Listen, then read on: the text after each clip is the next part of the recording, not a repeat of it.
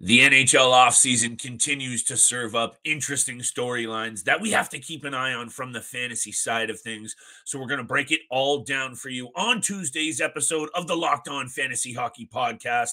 What is going on in Ottawa? The New York Islanders up to strange things once again.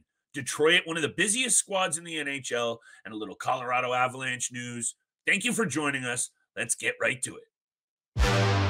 Your Locked On Fantasy Hockey, your daily podcast on fantasy hockey. Part of the Locked On Podcast Network, your team every day.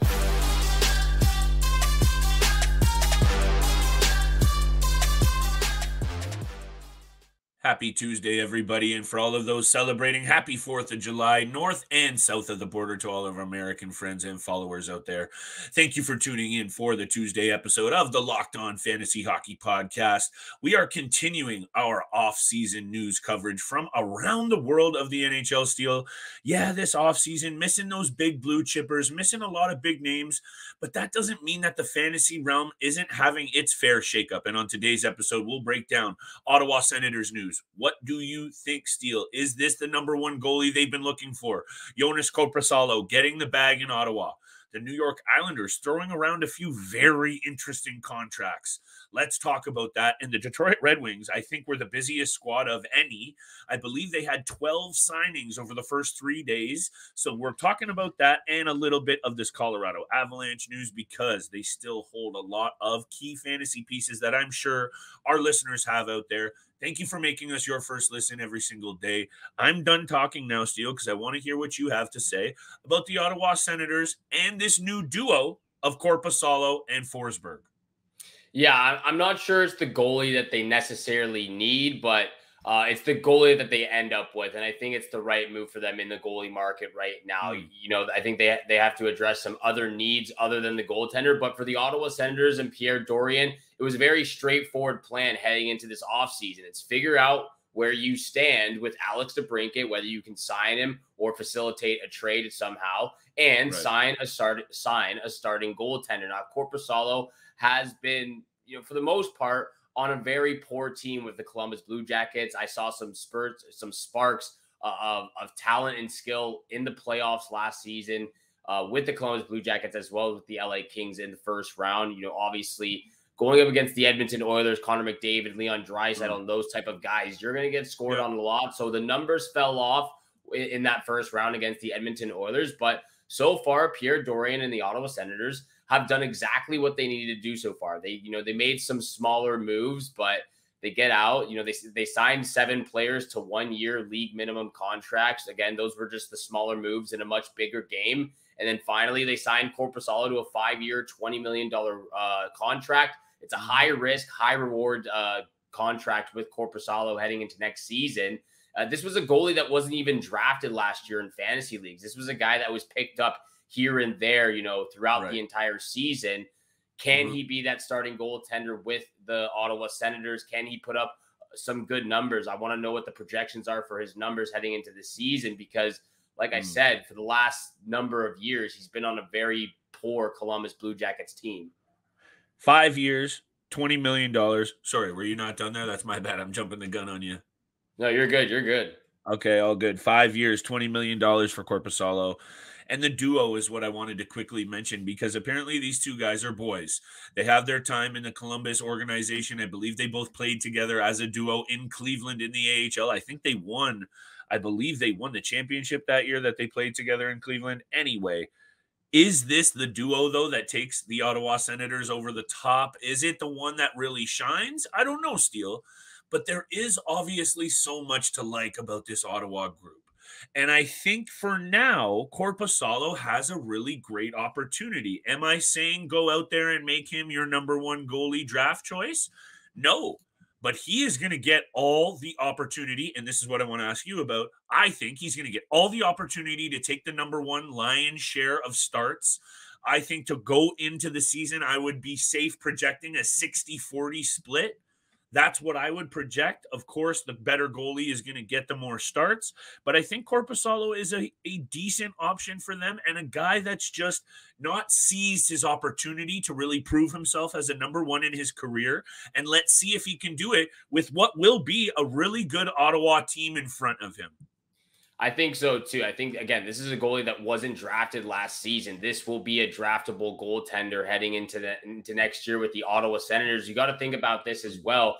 Last season for the Ottawa Senators, they didn't have a full season of Jakob Chychrun because they traded for him at the deadline. They didn't have a full season of Josh Norris as well in the top six forward group. So I think, again, the only two things they have to address this offseason was one, a starting goaltender and facilitating yep. a trade with Alex DeBrincat. They still got $10.2 million in cap space. So mm, Joonas, Joonas Korpisalo becomes a draftable goaltender, but Agreed. you don't want to take him way too early. Like you said, it's probably at the beginning of the year 60 40, maybe 65 35 mm-hmm. split mm-hmm. between mm-hmm. Forsberg and Korpisalo. But, uh, you know, from what I saw in the last, uh, you know, the last 11, 12 games of the regular season with the LA Kings and then in the playoffs, I do like his game right now. He's 29 years old, so he's right in the middle of his prime. I think this is a good deal for the Ottawa Senators. They don't overpay him. It's giving him an opportunity to yep. see where he can take it another good move from Pierre Dorion in a list of moves that we have been big fans of. You mentioned his solid start since getting acquired to LA 7 3 and 1 with a 2.13 goals against and a 921 save percentage to round out the season in the regular season last year for the LA Kings. So I am just here's my thing with Korpisalo, and I know I say this a lot of, about a lot of these players that are changing cities and changing franchises you made, I think, the most important point here.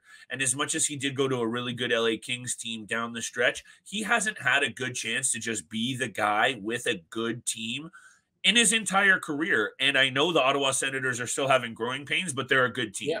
And they're definitely, they were right there as on the playoffs last year. So I think with Korpisalo in the mix there and his boy behind him, a confident setup that I think they're going to be fine with what they want to do in terms of whatever split it is. I know that's a small caveat, Steele, but you know, I like to buy into these angles, pal. So I'm going to buy into it, and I want to definitely keep our eye on Korpisalo. We're going to keep our eye on all the other topics we're going to get to. What is going on with the New York Islanders. That is way too many years for Mayfield. Way too many years. I know you like Engvall, and I know we'll talk about this. Seven years seems silly. The cap hits are reasonable. We'll talk all about it. Detroit, Colorado, of course. Today's episode is brought to you by our friends at FanDuel Sportsbook. Take your first swing at betting on the MLB on FanDuel and get 10 times your first bet amount in bonus bets, up to $200. That's right, just 20 bucks and you'll land $200 back in bonus bets win or lose. That's 200 you can spend on everything from the money line to the over unders to who you think is going to hit that first dinger. And it's all on an app that's safe, secure, and super easy to use. Plus, when you win, you get paid instantly. There's nothing better and no better place to bet on the MLB than FanDuel, America's number one sports book. Sign up today. Visit fanduel.com slash locked on and get up to $200 in bonus bets. That's fanduel.com slash locked on. FanDuel official partner of Major League Baseball. And thank you so much for making the Locked On Fantasy Hockey Podcast your first listen every single day. We are a part of the Locked On Podcast Network, where you can find your favorite team from all four major sports leagues, including the NCAA, your team every single day. And thank you so much for tuning in for today's episode. Hit that subscribe, hit that follow button. Mm-hmm. Leave us a review on your favorite podcast platform. And of course, leave us some yes. comments, DM us on Twitter if you need some help, some advice, just want to talk. Mm-hmm. Let us know, and we will be right there as soon We're as possible. There. We are always there for you, fantasy hockey wise, or just anything wise. We mm-hmm. like to talk with our uh, with any of our listeners out there. And let's get over to the New York Islanders, though. A few other teams uh, that have made some signings over the last couple of days. New York Islanders, we will get to the Colorado Avalanche, Detroit Red Wings, Steve Yzerman, always mm-hmm. busy mm-hmm. as the general manager over there. But the New York Islanders signed four guys who were on the team last year. And I yeah. want to talk about the goaltenders first. Let's start with sure. Ilya Sorokin and Semyon Varlamov. Sorokin. Eight years, $66 million. An absolute mm-hmm. fantastic deal for both parties. He becomes the third highest contract uh, amongst active goaltenders right now, right behind Sergei Bobrovsky and Andrei Vasilevskiy. I'm assuming Connor Hellebuyck will pass Elias Sorokin whenever he gets his next contract, but uh, I, I, think it's a great deal for both the Islanders and Sorokin. Uh, he's been in the NHL now for three years and just incredible stats every single season, twice in the playoffs as well. Hasn't been able to get past the first round, but the stats in the playoffs have just been undeniably impressive, and he deserves this contract, uh, every single bit of it. I think he definitely deserves this contract. And Sor- you and I just butcher this guy's name. I say Sorokin, I say Sorokin. You know, I got to just get it right, but it's Sorokin, I think. But either way, you know how high I am on this guy. And I drafted him far too early in our draft last year. Yeah, okay. Was he up there with all the numbers as one of the best goalies in the mm-hmm. league for sure? And is he that? Most definitely my my bit of concern with this deal is all the term on these contracts handed out by an 80 year old general manager in Lou Lamoriello. Does the one that make the most sense is obviously Sorokin. But at the end of the day, it what what is he under contract here till? He's 38 years old at a lot of money. They're just all risky. If it was just the goaltender, no problems. But the fact that he handed out so many deals to guys that, you know, aside from, you know, Mayfield and Varlamov, Varlamov, yeah, okay.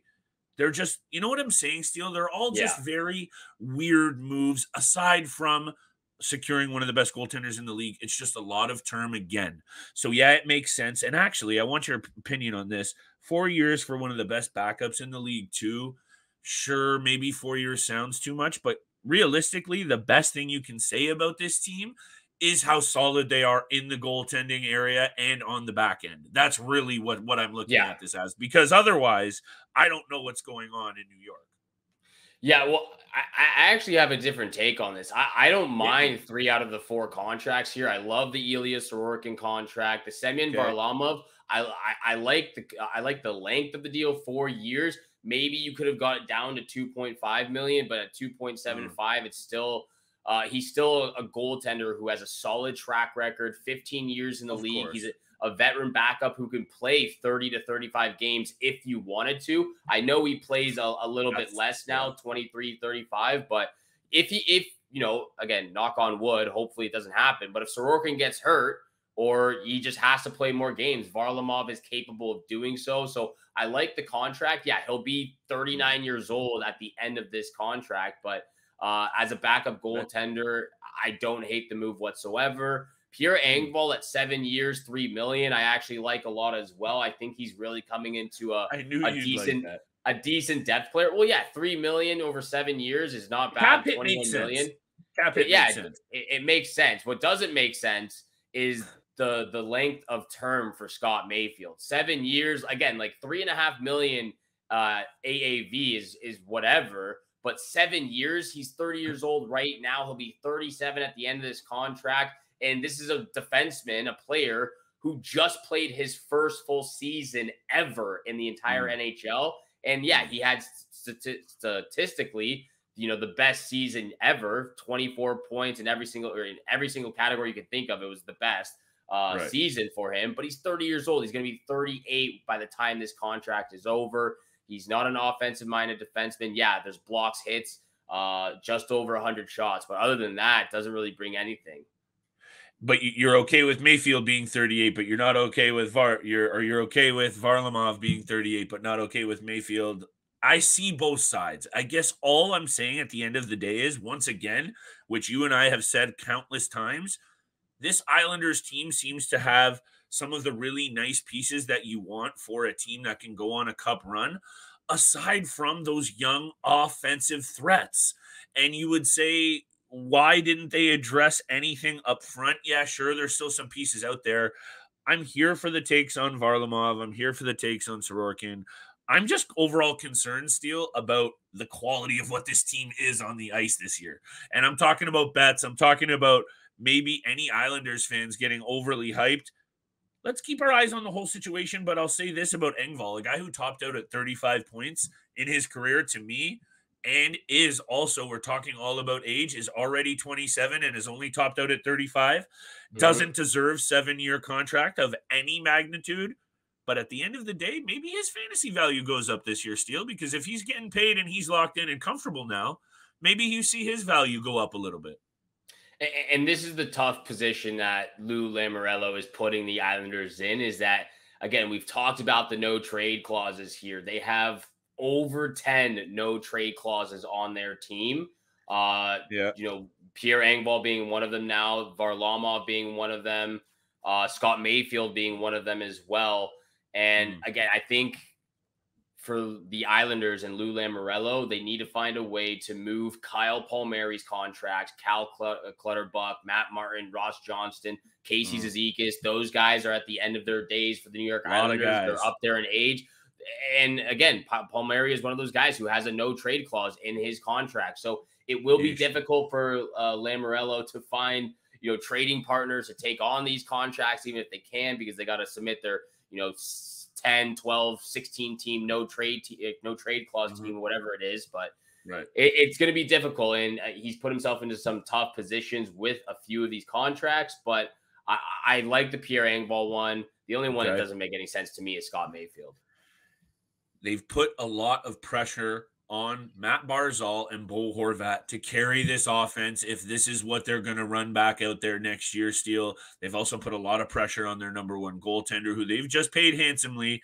I just don't see it for this team. Be very wary of where you're taking some of these fantasy pieces, aside from maybe that goaltender we've just talked a lot about. Let's talk a lot about the Detroit Red Wings next, and we will get to the Colorado Avalanche. But I again talking about goalies, seeing some of these moves that they made. Alex Lyon comes in, James Reimer comes in. They have 12 signings total, Steele. That's more than any team in the NHL. Yeah. That also included Justin Holl, Klim Kostin, Daniel Sprong, JT Compher was the big one. And the other big one, which I also want to talk to you about, is Shane Gostisbehere. So those were the two big ones for me, Compher and Gostisbehere. I think those were the main things I want to talk about. But off the jump, when you let Nedeljkovic go, and you bring in guys like Reimer and Lyon, I think this is clear cut.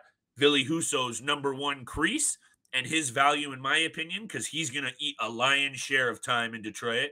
He's going to be a goalie that I'm keeping my eye on big time. You know, I like Ville Husso. Yeah.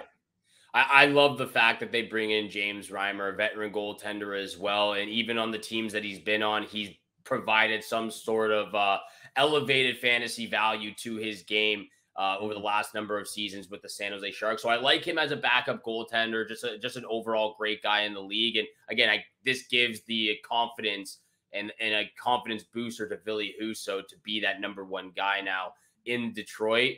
And again, they bring they bring in some veteran players. JT Compher had an amazing season, 50 plus points, his best season yet. He's 28 years old.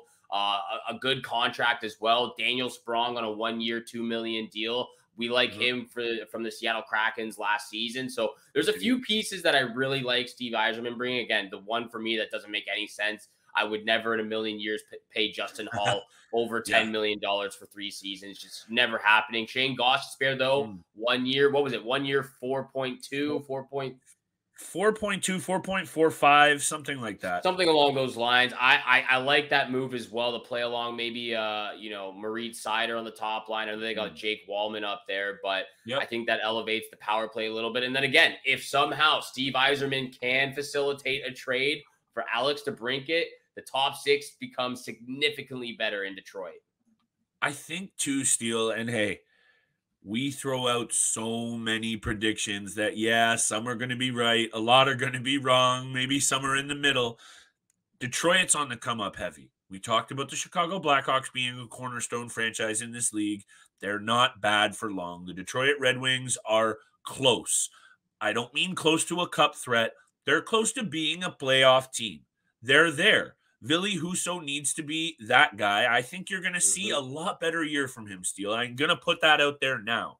And I think the moves that they've made today, none of them really jump off the page, do they? And the Justin Holl one for sure with you. I'm with you. It's a little bit of a head scratcher on how much they paid him and how much term he got. Yeah. Can he be better? I don't know. But the rest of the moves I don't hate.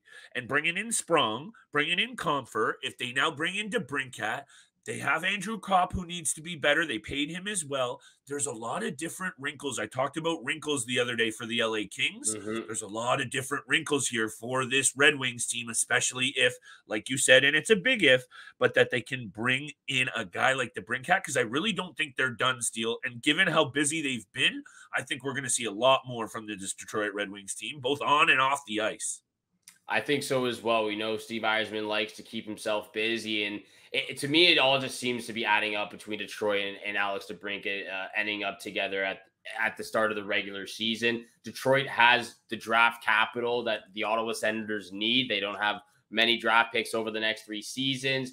Uh, mm-hmm. They've got some veteran guys that could uh, be moved as well in a deal for Alex DeBrincat, like David Perron or uh, uh, or Andrew Copp. I know they got a Copp for the next four years. Anyway, I'm spitballing here, but Detroit okay. and Ottawa are pro- most likely going to get a deal done for Alex DeBrincat. It just seems like the most likely situation moving forward.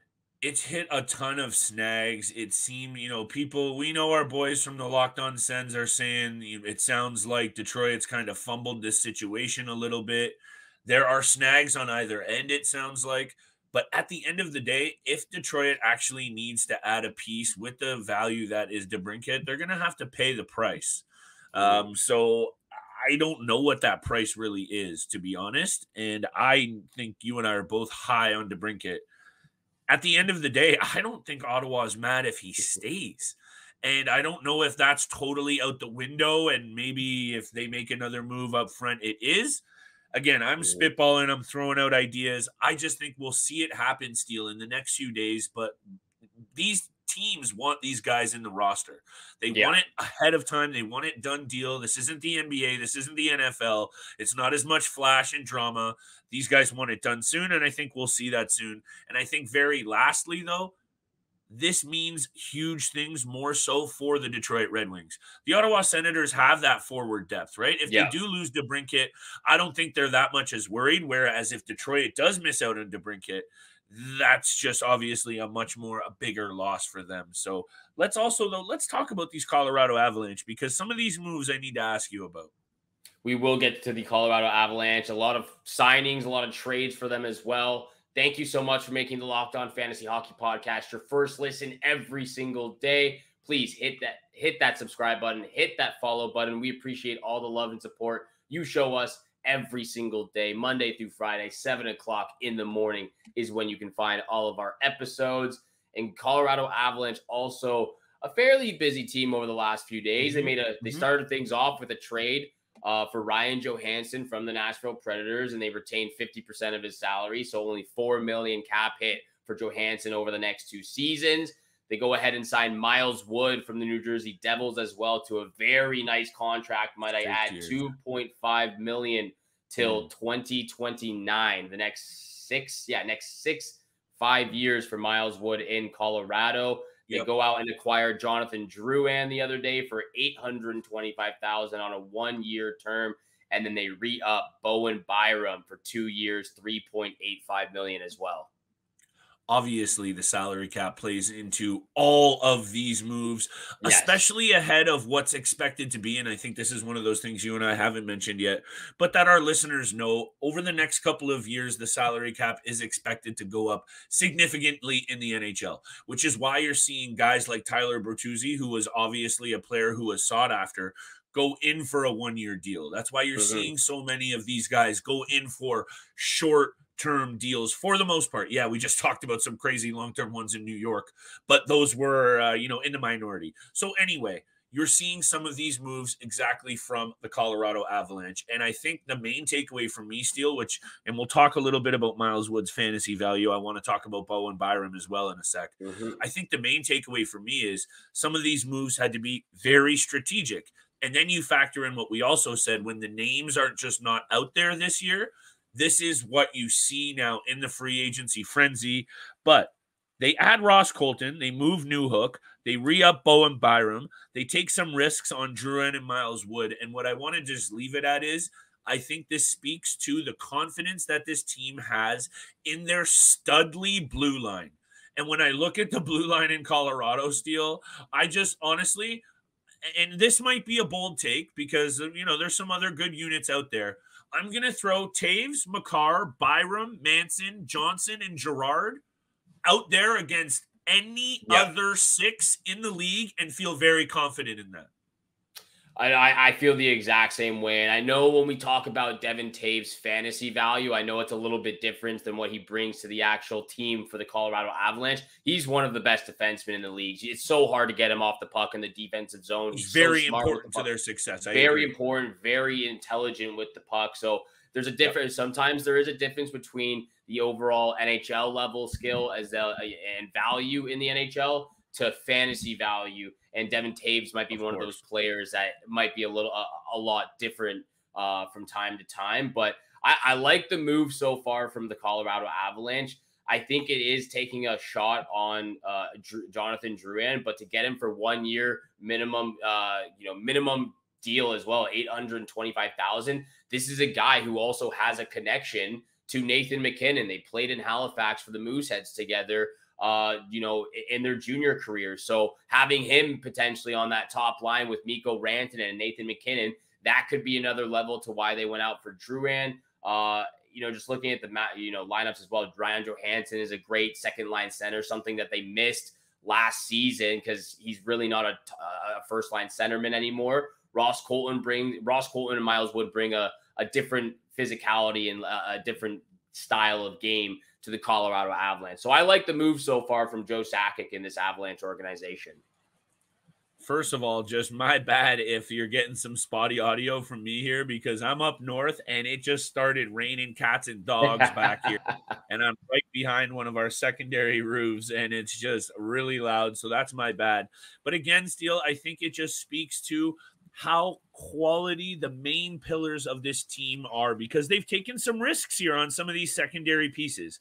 And mm-hmm. I actually like what you just mentioned. That third line now is a little bit of a nasty one. I also like up the middle. I don't hate that trio combination of MacKinnon, Johansen, and Ross Colton. Couple of big ifs, couple of could they pay off? It could be huge. But at the end of the day, Colorado's fine because we just saw Georgiev can compete. He was one of the better goalies for most of the year.